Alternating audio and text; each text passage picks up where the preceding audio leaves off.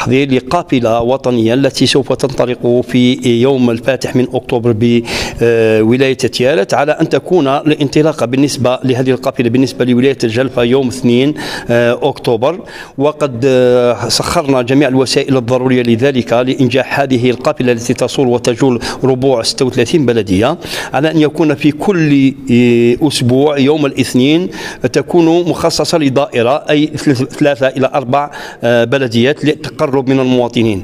في البداية نشكر الصحفيين والإذاعات والمراسلين الذين يسمحوا لنا بالولوج والدخول إلى ديار المواطنين بدون استئذان ويعتبر الصحفي كفيزا أو تأشيرة الذي يسمح لنا بالدخول إلى المواطنين لأن مجابهة الأخطار الطبيعية والتكنولوجيا ومقدمتهم هذه القافلة هي التسمم بأول أكسيد الكربون. تهم ليس فقط رجل الحماية المدنية والصحفي بل المواطن العادي باختلاف مستوياته الفكرية. هذه القافلة أعطينا لهم اقتراحات كذلك الشركاء أعطينا لهم اقتراحات أعطينا لهم التزام أنه كي يقوموا بعملية القافلة التي سوف تصل ممكن إمكانية أخذ عينات من البيوت المواطنين يدخلوا الداخل يشوفوا الإقامات الكهربائية الإقامات الغازية كذلك الوسائل المسخرة للتدفئة أو الاستحمام أو تستعمل كوسائل تدبيرية كطابونة اللي نقولوها بدرجة والتي تستعمل في بعض العائلات من أجل التدفئه.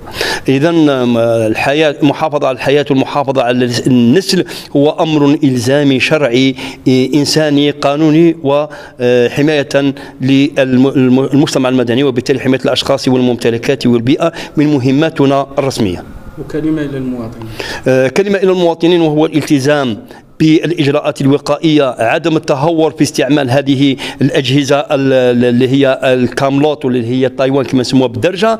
إضافة إلى ذلك من خلالكم نقول باللي رانا في موسم الشتوي نديروا حملة مشتركة فيما يخص حوادث المرور فيما يخص الفيضانات الالتزام بالاجراءات الوقائيه عدم التهور للسواق وعدم ترك الأولاد وترك الأشخاص والسير في الأودية لأن حتى شرعا أخي رضوان أنه لا يجوز للمصلي أن يصلي في مجرى الواد وهو ما فيش الماء هذا أمر شرعي استباقي. لذلك نقول للمواطن الكريم التقيد بالإجراءات الوقائية تنقية البلوعات عدم رفع رفع وسائل البناء اللي راك واضحها في في المجاري المائية والتي تؤدد إلى انسداد هذه البلوعات لأن حمايتك تبدأ من حماية المواطن والإجراءات اللي تقوم بها الدولة تبدأ بالمواطن الصالح لوطنه.